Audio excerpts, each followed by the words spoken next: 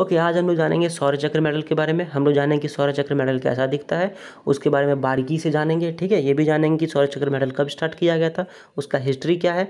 आज तक कितने लोगों को सौर चक्र मेडल मिल चुका है, ठीक है? और ये भी जानेंगे कि सौर चक्र मेडल किसको किसको मिल सकता है, ठीक है? तो चलिए स्टार्ट करते हैं। सबसे पहले हम लोग जानते हैं कि सौर चक्र मेडल कब स्टार्ट किया गया था।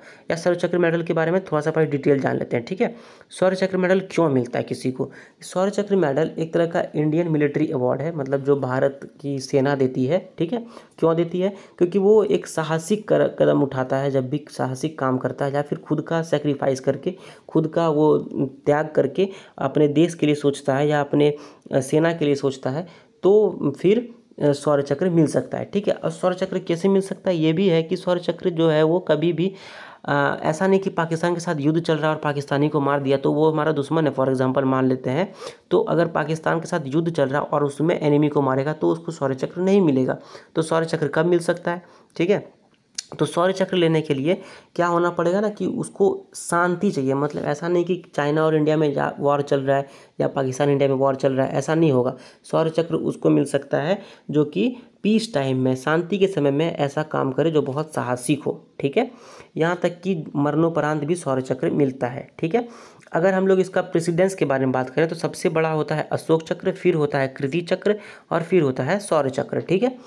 जैसे हम लोग जानते हैं कि इसको कौन देती है? तो भारतीय का आर्मी देती है, इंडियन आर्मी देती है। कितने अवार्ड अभी तक मिल चुके हैं? दो हज़ार चौदह अवार्ड मिल सक, मिल चुके हैं। दो हज़ार सत्रह तक की मैं बात कर रहा हूँ, ठीक है? दो हज़ार सत्रह तक दो हज़ार चौदह अवार्ड अभी तक मिल चुका है, जिसमें से कि छः सौ सत्ताईस जो है वो मरणोपरांत मिला, मरने के बाद मिला है लोगों को। और पहली बार नाइनटीन फिफ्टी टू में मिला था, जब कि एट्टीन आदमी को मिला था, अठारह आदमी को तभी सौर चक्र मिला था, ठीक है?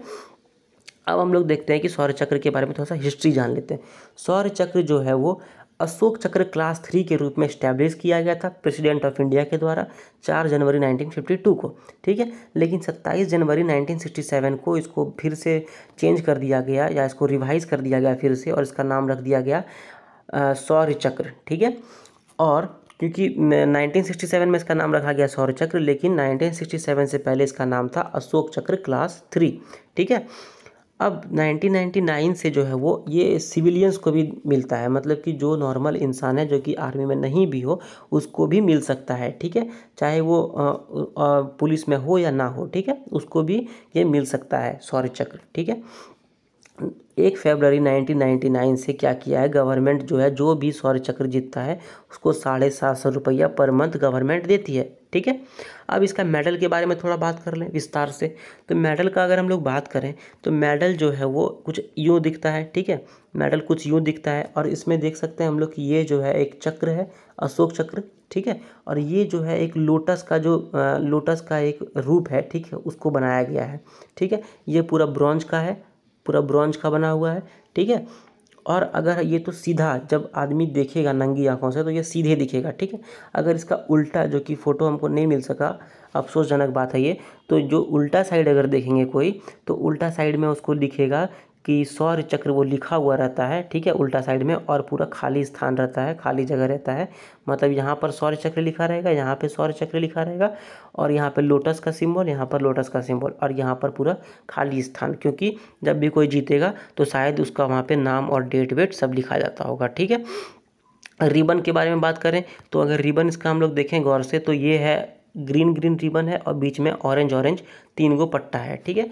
चार पट्टी ग्रीन का और तीन पट्टी ऑरेंज का रिबन है, ठीक है? अब मान लो कि कोई ऐसा आदमी है जिसको कि सौर चक्र एक बार मिल चुका है और वो अगर फिर से सौर चक्र जीतेगा तो क्या होगा कि जो भी उसका रिबैंड था जिसमें उसको सौर चक्र मिला था, उसको बढ़ा करके फिर से एक बार उसको सौर चक्र उसी में मिल जाएगा। मतलब अलग से फिर से उसको सौर चक्र नहीं मिलेगा, एक ही रिबैंड में दो बार सौर चक्र मिल जाएगा, ठीक है? तो इस तरह इस प्रकार सब कोई जान जाएगा कि हाँ उसको दो बार सौर्य चक्र मिल चुका है, ठीक है? तो जितनी बार वो सौर्य चक्र जीतेगा, उसको उतनी बार वो मेडल मिलते जाएगा, ठीक है? अब अगर एलिजिबिलिटी का बात करें कि कौन उसको जीत सकता है तो जैसे हम बताएँ कि नॉर्मली जब पीस टाइम है मतलब जब किसी के साथ लड़ लड़ाई नहीं हो रहा है तो हम लोग सौर्य चक्र जीत सकता है कोई, ठीक है? अब लड़ाई नहीं हो रहा है, इसका मतलब क्या? जैसे कि मान लो नक्सली के साथ हम लोग ऑपरेशन कर रहे हैं, ठीक है? पुलिस वाला ऑपरेशन कर रहा है नक्सली के साथ तो उसमें जो है वो कुछ पुलिस वाला बहुत अदम्य साहस का परिचय दिया और वहाँ पर वो बहुत ही करेजियस काम किया, बहुत ही साहसिक काम किया तो ऐसे स्थिति में उसको सौर्य चक्र मिल सकता है, ठीक है? और किसको मिल सकता है सौर्य चक्र? तो जैसे हम बताएँ कि आर्मी के ऑफिसर्स को मिलेगा, नेवी को एयरफोर्स वाले को, ठीक है? जो भी नॉर्मल बी एस एफ़ है सी आर पी एफ़ है, ये सबको मिल सकता है सौर्य चक्र। उसके बाद नॉर्मल सिटीजन्स को मिल सकता है, नर्सिंग स्टाफ को मिल सकता है मतलब कि जो भी आर्मी के साथ काम कर रहे हैं, जैसे कि वो स्वीपर हो, चाहे डॉक्टर हो, चाहे नर्स हो, किसी को भी मिल सकता है सौर्य चक्र, ठीक है? तो इतना ही है सौर चक्र के बारे में जानने के लिए, इससे ज़्यादा कुछ खास है नहीं, ठीक है? तो सौर चक्र के बारे में हम लोग जान गए क्या है, क्या नहीं, ठीक है? अच्छे से सौर चक्र के बारे में बहुत कुछ जान गए हम लोग। अगर आप लोग यहाँ तक वीडियो देख चुके हैं तो प्लीज़ इसको लाइक कीजिए, इसको शेयर कीजिए, इस पर कमेंट कीजिए, जो भी आपको पूछना हो या बताना हो, और इस चैनल को सब्सक्राइब कीजिए। Thank you very much.